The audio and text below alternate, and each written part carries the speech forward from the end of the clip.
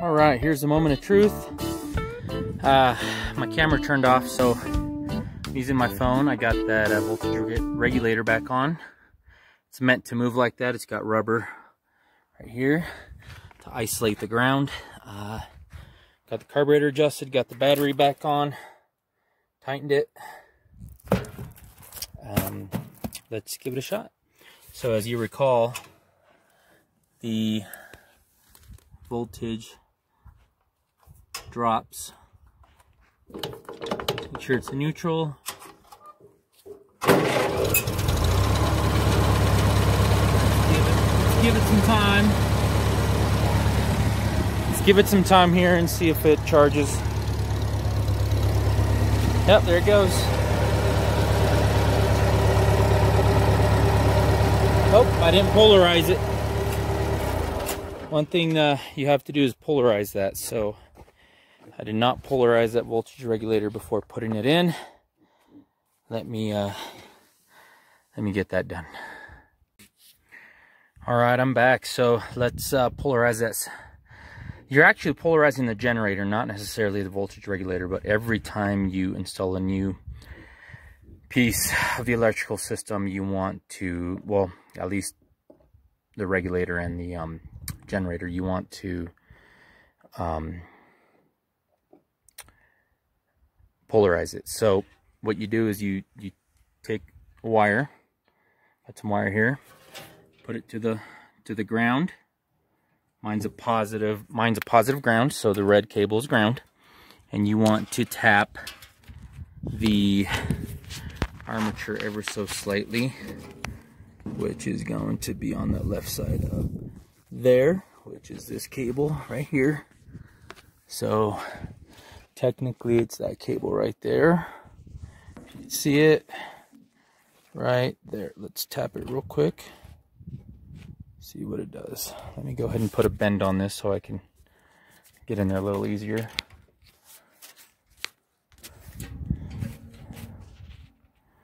Ever so quickly, just to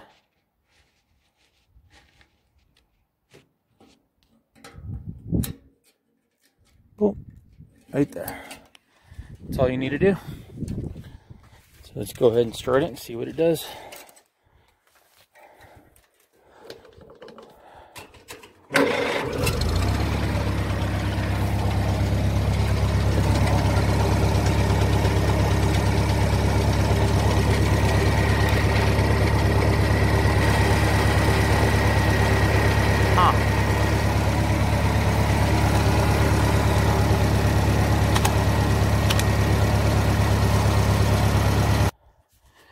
Not sure why that needle's jumping back and forth, so I'm going to troubleshoot this a little more.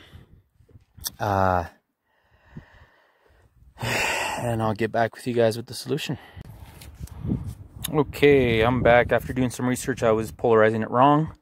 What you want to do is touch the battery side right here over to the generator side to polarize it. So I'm going to use this uh, ammeter um, jumper here. So I have to go ahead and do that. So I'm going to start with this side here. Touch it. Touch it there. While I, let's see here. There we go. Just going to hold it here while I hold the camera. I'm actually going to set the camera aside here for a sec.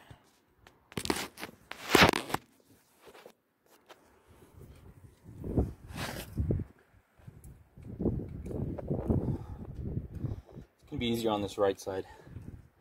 a lot easier. Let's put that on there and the, there it goes. That's it. Didn't see a spark. Usually, uh, you're supposed to see a spark. Let me see what it does. There we go. still nothing. Still jumping. I don't know have to do some more research. All right, so I, I did some research last night, and uh, I might have uh, the ammeter gauge uh, wired up wrong, so um, I have a rat's nest in here anyways. Uh, not literally, but I mean, look at this mess. So I'm taking this off and uh, I'm just gonna just fix everything. Clean all the ground connections. As you can see back down there, in that bolt, it that's where one of the ground connections is. That's pretty nasty, so uh, I will keep you updated on this. All right, so apparently this was making a ground somehow. but uh, this was all nasty. I scraped it up. Uh, but uh, I'm gonna try to keep working on it and seeing what. There's the ammeter. Looks a little nasty. I'll uh, get my amp meter and take a look here and see what what we get. All right, so this is uh, this is the ignition connection it had. Pretty nasty, so we'll uh let me focus that, sorry guys. It's pretty nasty there, so we'll fix that up. I'm just gonna put a waterproof butt connector right there.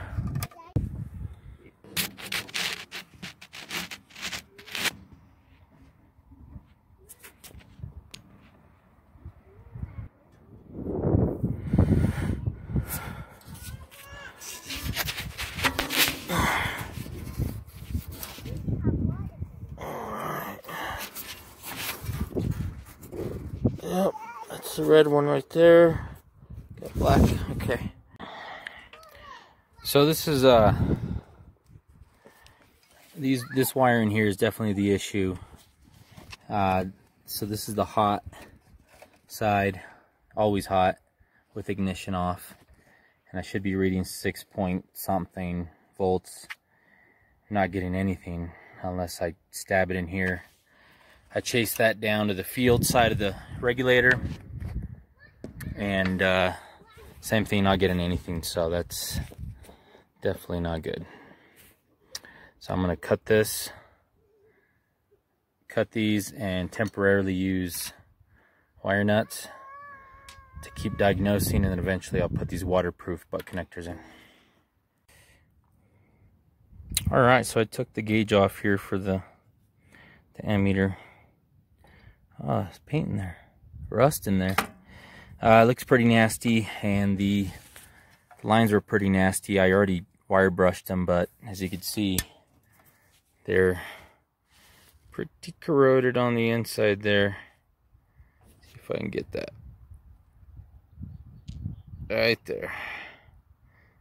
Still getting the correct readings, but I might have to clean that up a little bit, and I'm going to test this on its own out of the tractor and see what's going on. Maybe it's this or just the, the dirty lines or dirty wires. But uh, anyways, I'll keep you guys updated. All right, just for testing purposes, I got this hooked up positive here. This main large line here goes directly to the starter It's positive. Of course, the uh, output of that is negative um, for the gauge purposes, and that goes to the middle of the uh, voltage regulator. It says battery. So because this is getting power, it loops over this the battery cable here gives you the positive. So let's try that out and see what it does. Oh, still same reading.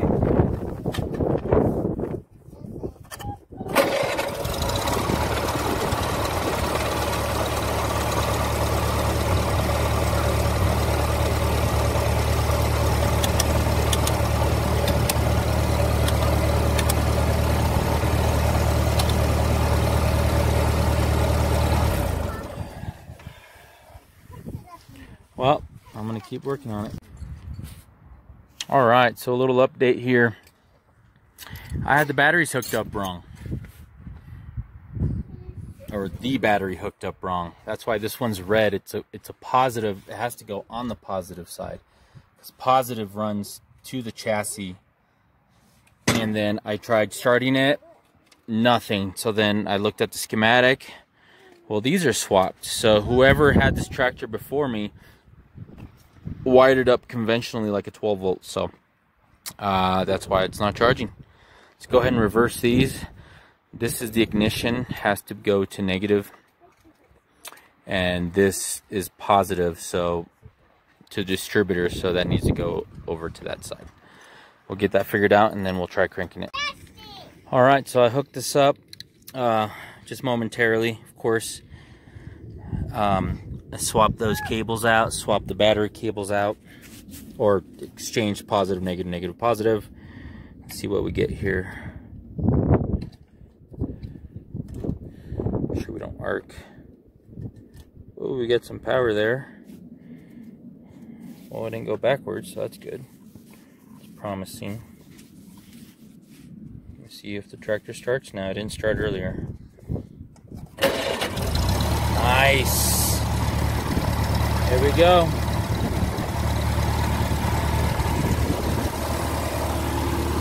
So that was the problem.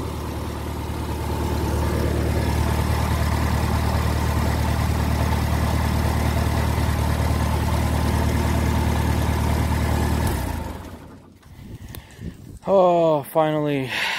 Yep, finally. Finally.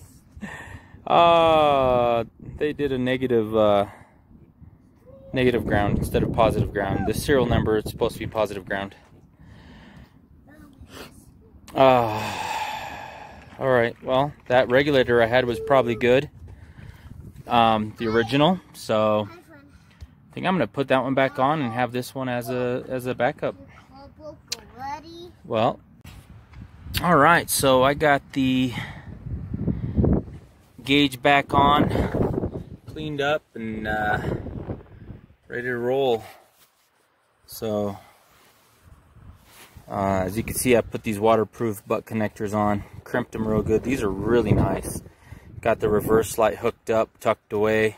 Just got to hook up that ground down there. I scraped that.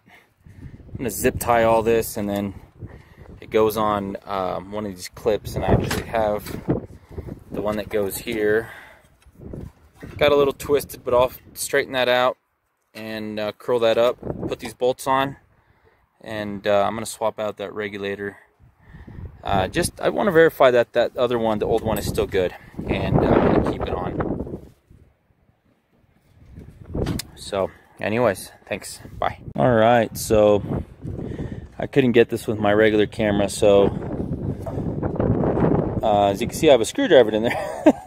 I forgot about that. Oh goodness, uh, yeah, I dropped it and I forgot to pick it up. But anyways, I have a screen uh, filter for that um, inlet right there. That looks, man, that looks nasty. But uh, nonetheless, let's see if I can put that in. I probably won't be able to record it, but I will try.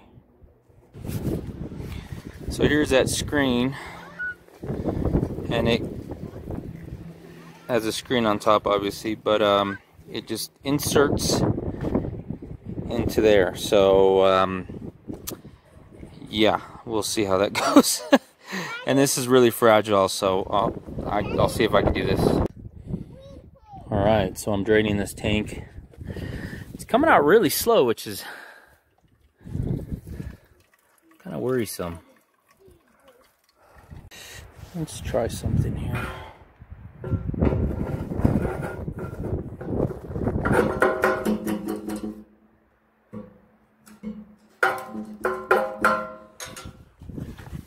Coming out faster. Yep, there was something stuck in there. Wow. I did not know that.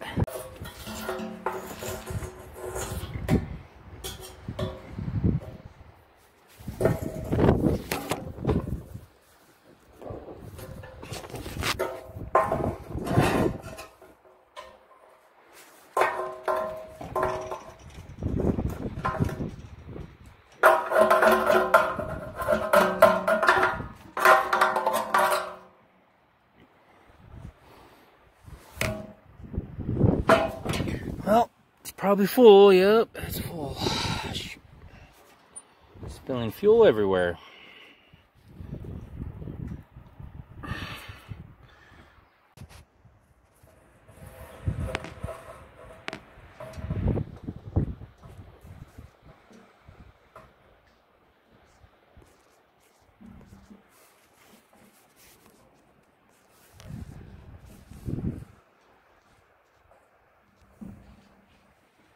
Got it. Got it.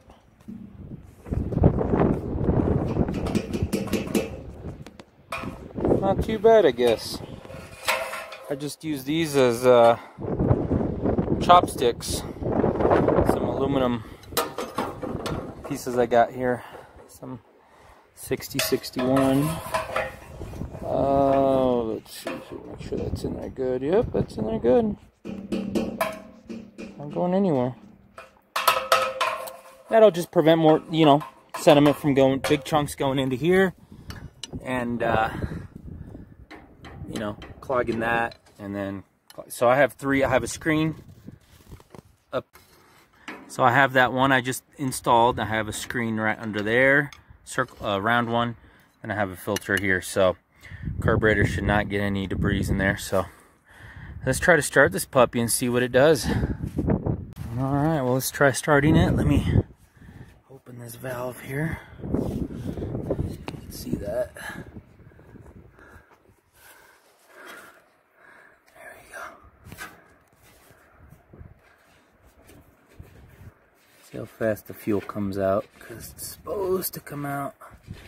Oh, well, I drained the fuel, so let me, and that ah, strainer is a lot higher. So,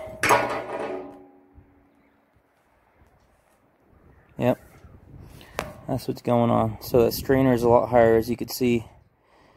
Uh, so now I really have to get more fuel running in there all the time.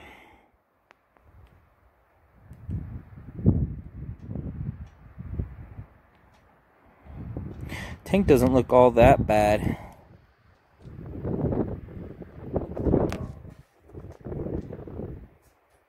Anyways, let's try that. Let's put more fuel in it. And actually this time I bought some uh, ethanol free fuel for the tractor.